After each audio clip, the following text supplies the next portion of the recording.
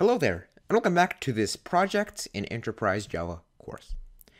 So today we will be continuing our first project, which is a voting system application done in Spring Boot. So let's go and take a look at exactly how we can um, move forward with our application. All right, so first of all, we have here um, uh, what? We have our dependencies with uh, our database. So let's go and actually configure our database first. So let's go and um, uncomment this, first of all. Okay, for some reason, um, in, in Eclipse, when you're doing XML commenting, you know, you, when you do command slash, it, it comments things, but it doesn't uncomment them. So if you um, select a comment and then uncomment it, it'll just comment it again over the comment. So that's you know, comment, comment commentception. Anyway, let's go ahead and uncomment it. There we go. All right, and now we can go ahead and save this. Um, it didn't actually, it didn't actually uh, provide us with a logger. I, I, I thought it would do that, but it, but it, but it didn't, which is, which is weird. We'll have to put that in ourselves later on. Anyway, um, let's go and actually right now set up our database. So first of all, we're gonna go to our um, application.properties, and this is a very useful file in Spring Boot. So you can pretty much configure almost everything in this file, including, but not limited to, of course, um, your database. So let's go and actually do that now. Of course, we don't actually have a database installed yet. Um, I can actually go and open up a terminal here and check um, if I do MySQL. Um, as you can see, MySQL command not found. So again, as I said before in this course, this is a new user that I could create specifically for course creation. So it doesn't actually have anything, um, you know, programming wise installed. So let's, let's actually go ahead and install it together. So if you don't have it installed, you can skip through a little bit, but um, um, no, if you do have it installed, you can skip through a little bit, but if you don't, well, you can now install MySQL. All right, so um, let's get into this. All right, so in google.com, we're going to go ahead and just type in uh, MySQL download. All right, there we go, MySQL community downloads, and I'm pretty sure MySQL is open source. Um, yeah, I'm pretty sure it is open source. Yeah, open source database. Yeah, so it is open source, so it's free for everything pretty much. And we're just going to install MySQL. Where is this? Where is this? Community server. Um, oh yeah, by the way, there is a there is a um, there is a paid version. I'm pretty sure. Okay, there we go. And you can select your operating system here. You know, there I have everything. So Windows, Linux, Debian Linux, Fedora, everything. Any anything you could possibly have, it's it's covered pretty much. Um, all right, there we go. And now let's go ahead and download 10.12. This one right here. There we go. DMG archive. Um, again, on Windows, it's pretty much the same. Uh, begin your download. Just no, not right here. No thanks. Just start my download. It's actually been a while since I've downloaded MySQL. Um, so I'm not, you know, particularly don't really remember all the fine details. All right, there we go. Now it's downloading. Let me go ahead and pause the recording and return to it once it is downloaded. All right, and there we go. It actually was installed. Let me go and actually open it up here. Um, there we go. Let's wait a second here for it to download. Any day now. There we go. All right, now let's click on the setup. So if you ever set up pretty much anything ever, um, this should all be pretty standard. Um, so this will take 1.18 gigabytes. That's a lot of space, but you know, I mean, it, it, it is a database.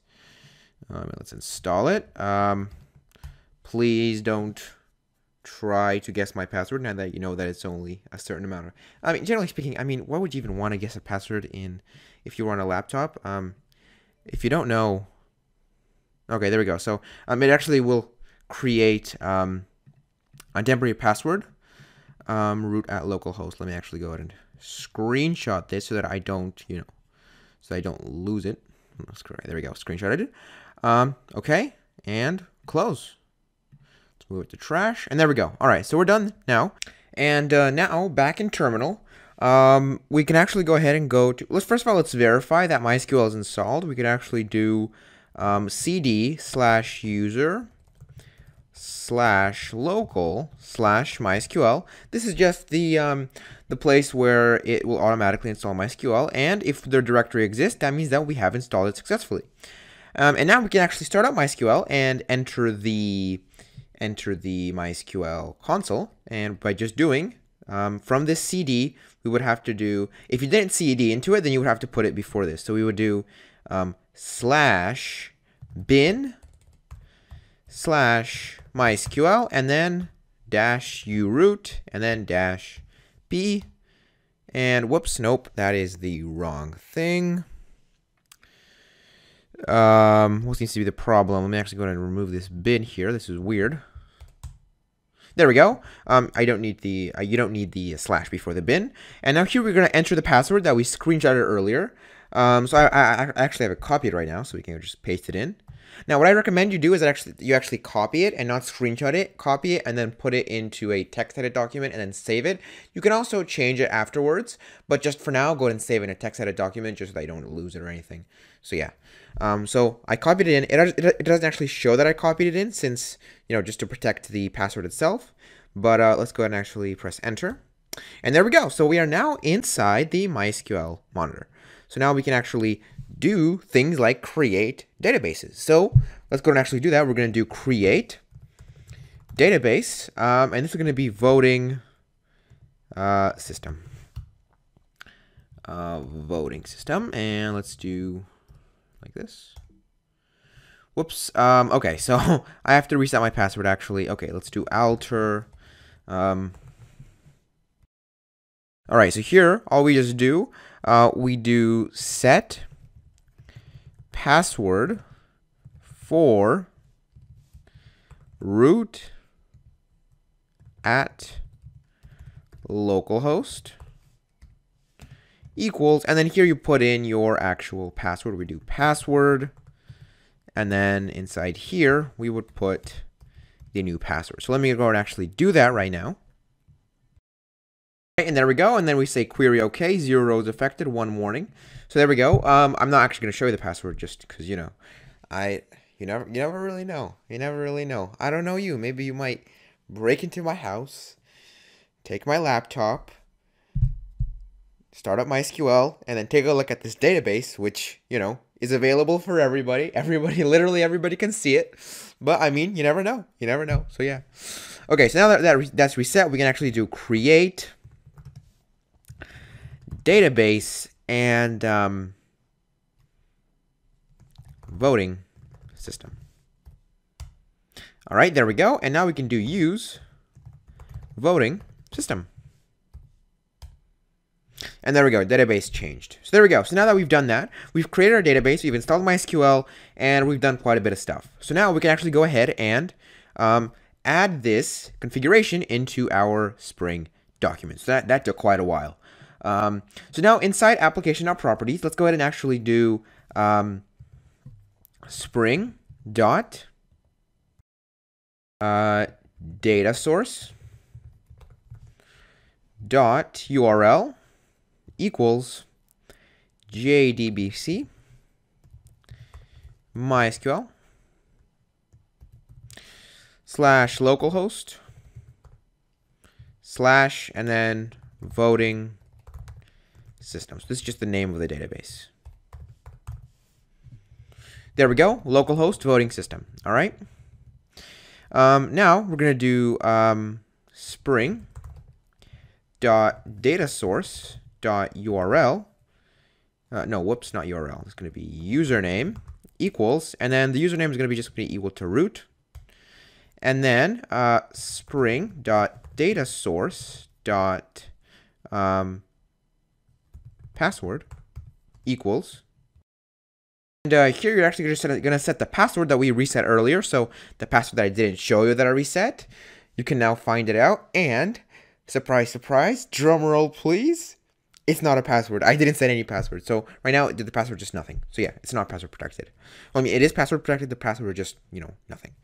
All right. And so now, I mean, you're, you're not, you're not gonna, you're gonna, you're not gonna steal my database, right? You're not gonna, I mean, I don't think you can, but you know, other than physically stealing my laptop or connecting to my internet, I'm pretty sure you won't be able to. So anyway, um, after that, we're going to do spring dot data source dot driver class name equals com mysql jdbc driver. And don't worry we're going to go over exactly what we're doing here in a second.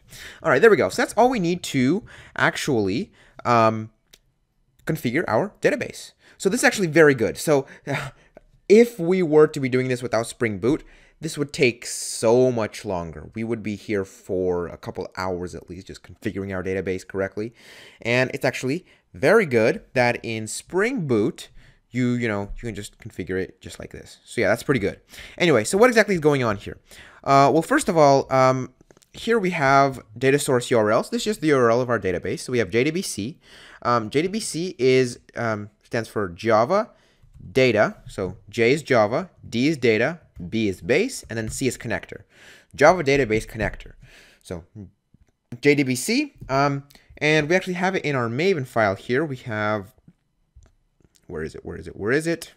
There we go. Spring Boot Starter JDBC. So this is the um, JDBC connector. Actually, no, actually the connector is right here. Um, this is just a boot, boot, that connects JDBC to it. Um, in this case, the connector is right here. So this is MySQL connector. And what the MySQL connector does, it essentially is it essentially allows us to access MySQL from Java. So it's like, I mean, it's the connector of Java in our database. So yeah, pretty simple stuff. Other languages like Python have connectors built in, but you know, um, Java does not, which isn't necessarily bad. It allows it for more dynamic database access. But, you know, yeah. Anyway, um, so JDBC, MySQL, then we have the uh, where the um, database is hosted. In our case, it's actually just localhost. And then um, the database name. So in our case, remember how we created the database voting system? That's what we entered here. Then the username is the user that we're going to access it from. Root is the root user, so it has all the commands. Um, and then the password is just the password that we set for a root user. In my case, it is nothing. And then finally, we have the data source driver class name. This is just the driver class name. So com, MySQL, JDBC, driver, pretty standard stuff. And now we're actually going to add one more, one last piece of, um, one last piece of the database configuration puzzle. We're going to have Spring, uh, Spring.jpa dot hibernate dot ddl auto equals create drop. All right, so we're back. Um, okay, so it's been a while since I actually last recorded. Um, there was actually a quite a big leap there. Um, the problem was that I was getting this really weird error um, that it couldn't actually find um, Jack, the JAXB dependency. This is just something that works with XML.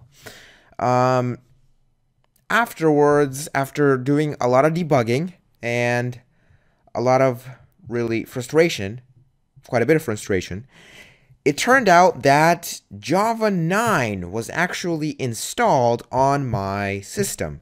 And even though um, the compiler level was set to 1.8. It was still using the Java 9's module system, and as a result, the module with JAXB installed wasn't actually um, there.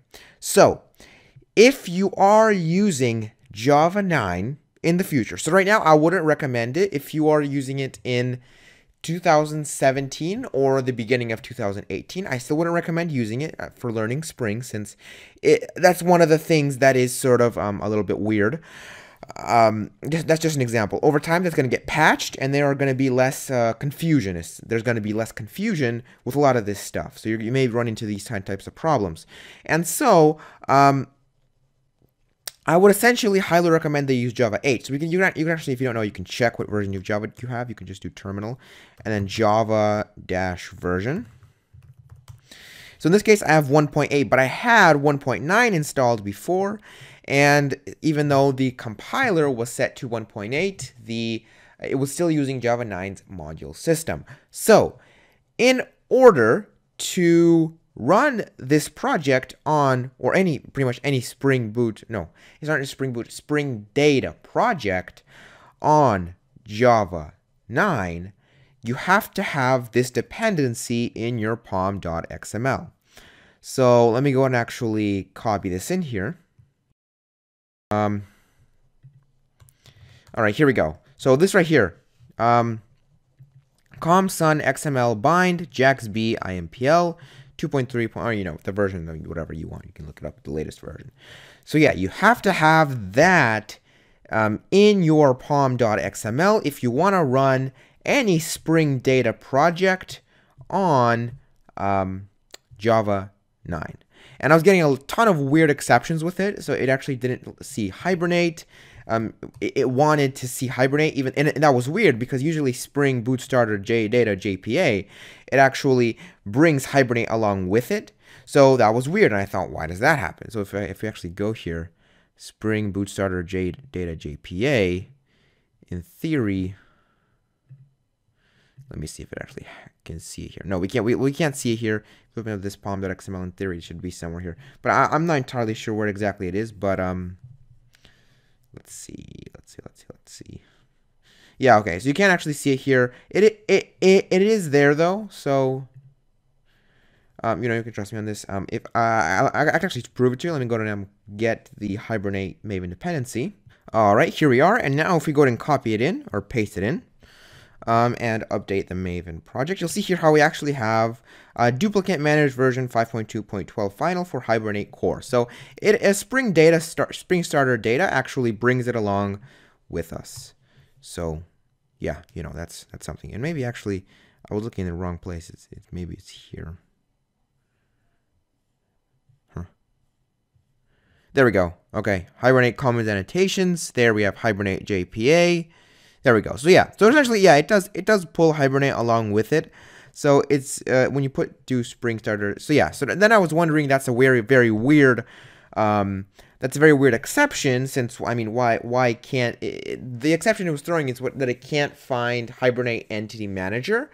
So I would paste an entity manager and that exception would be gone, but then it would give me another exception and it was just a whole whole mess of this mess of stuff. So that was that was difficult to deal with. But yeah, so essentially, um, that's one of the reasons why I didn't actually decide to use Java 9 for this project. Stupidly, of course, I said no, we're gonna use Java 8 because I mean it's it's much more stable and much more you know supported as of now.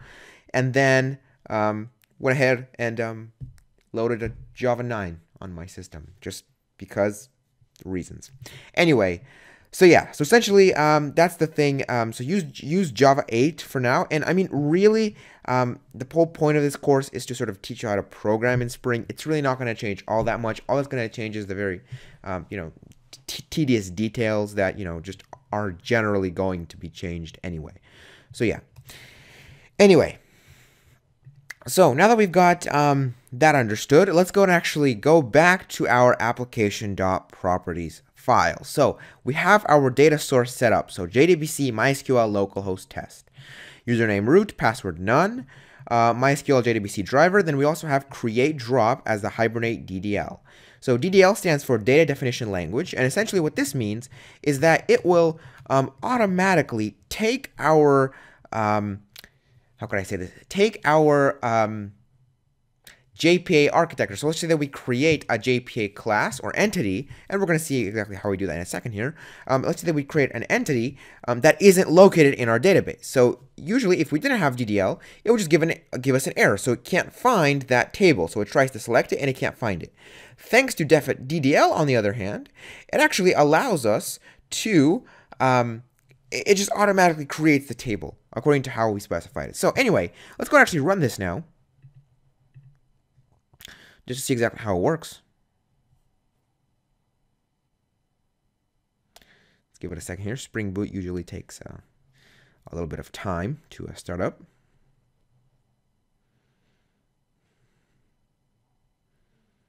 All right, and there we go. All right, so let me actually make this a little bit smaller so you can see.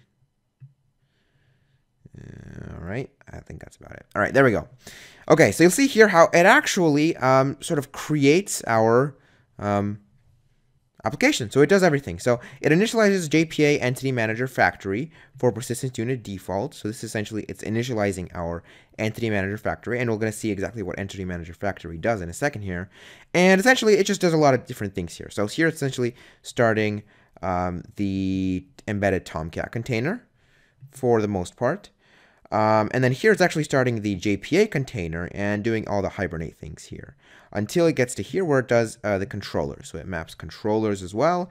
And then finally, it just um, maps in the data source, and um, this is essentially just web. After the uh, after um, the database setup, it actually goes the web setup. So yeah, there we go. So this actually took a long time to get here with before.